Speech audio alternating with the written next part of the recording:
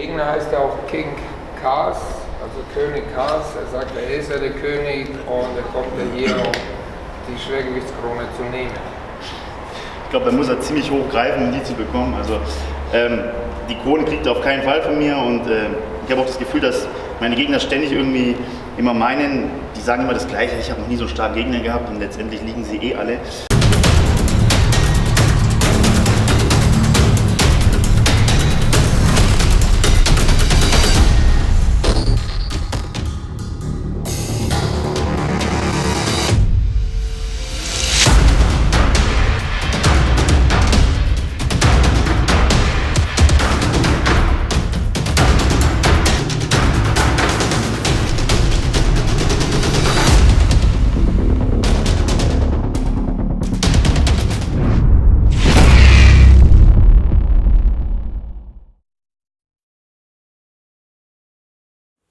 Hallo Leute und willkommen bei Teams Modig. Es ist noch sehr früh, aber heute geht es zum Pressetraining.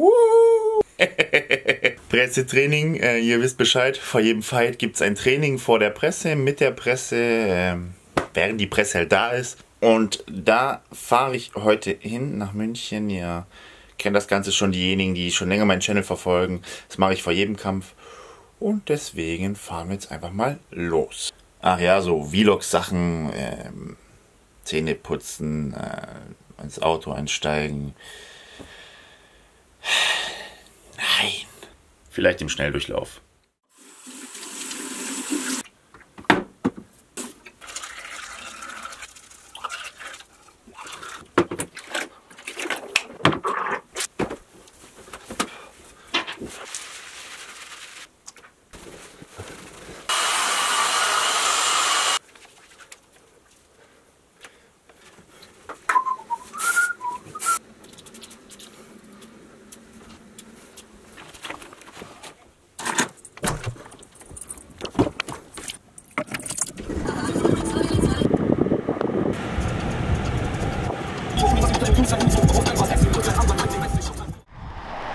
So, ich bin jetzt hier in München.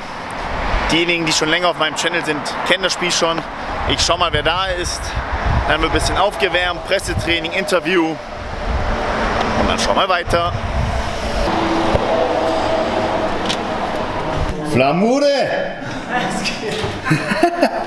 Na, was geht? Die denken sich auch immer, ich bin immer mit der Kamera unterwegs. Der Flamo. Der tut echt alles für euch.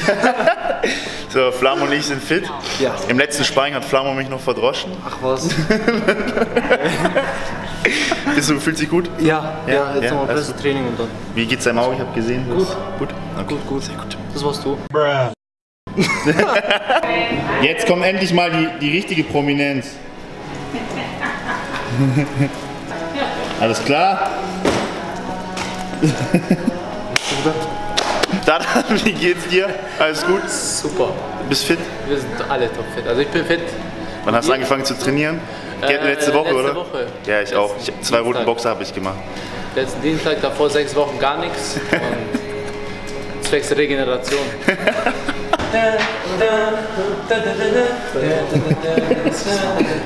hey, Italian Stallion, Pietro with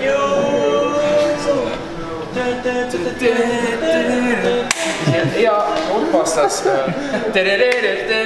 So Leute, hier der Pietro am Start. Pietro, bist du fit? Immer fit. Immer fit. Wie geht's deinem Bizeps? Bi äh, Bizepsriss gehabt. Ja, schon viel besser. Training funktioniert, Sparring, alles, alles drum und dran. Geht wieder. Überlegt euch mal, euer Bizeps ist gerissen. Und dann fängt ihr wieder an mit dem Training. Heftig, Respekt. Hallo. Hallo. Ich schon wieder.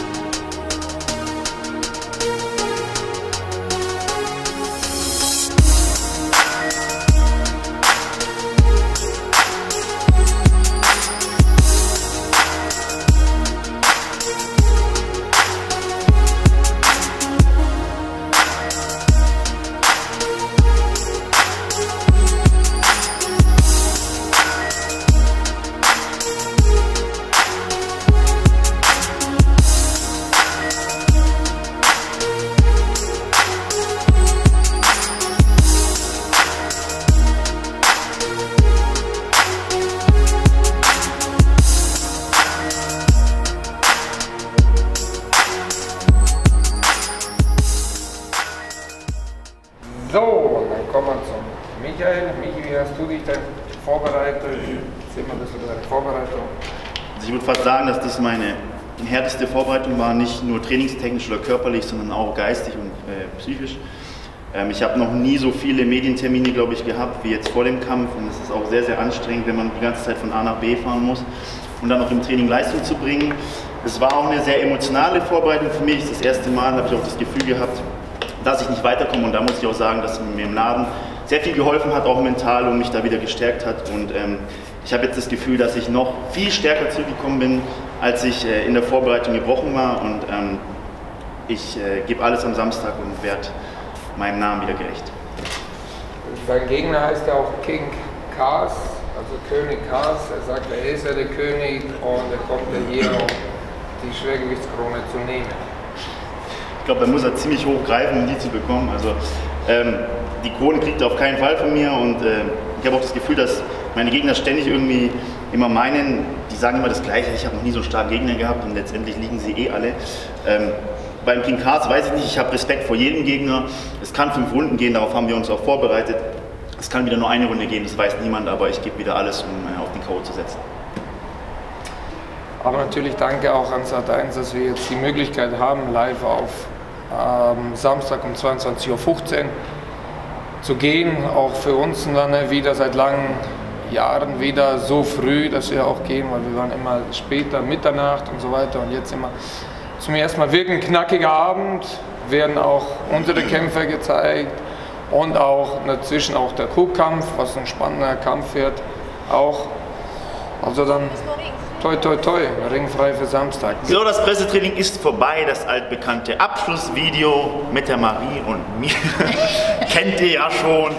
Ähm, wir verweisen hier nochmal auf unsere Kämpfe. Äh, Marie kämpft um 23.55 Uhr und ich kämpfe um 22.15 Uhr Primetime in Sat 1 und zwar live. Nach meinem Kampf kommt der Marco Hochkampf und dann kommt Marie. Also bleib dran, es ist die äh, Nacht der Kämpfe. Marie, wie fühlst du dich? Alles gut? Alles super, kann losgehen. Also ich habe mit Marie sehr, sehr viel Zeit verbringen dürfen, müssen, wegen den ganzen Medienterminen, die wir hatten. Ähm, aber wir sind beide sehr fit und wir freuen uns auf den Kampf. Ähm, hast du noch was zu sagen? Gibt es nichts mehr? Nee. Die Marie ist immer so ein Ich bin wie immer gesprächig. okay, Leute, dann auf jeden Fall schaltet ein, 22.15 Uhr, 23.55 Uhr, ähm, unsere beiden Kämpfe. Ganz, ganz wichtig. Ansonsten war es das mit dem Video. Ich hoffe, das Pressetraining hat euch gefallen. Wir sehen uns spätestens dann äh, am Samstag, 9.9. Schaltet ein. Ähm, ich grüße natürlich meine Fans und ähm, Facebook, Instagram, Snapchat ist unten verlinkt. Hier ist Flyer Smolik, äh, Shirt gibt es im Shop, Marie und mich gibt es auch im Shop. Spaß. Wir sehen uns in den nächsten Videos. Das war Mari Lang und Michael Smolik. Haut rein!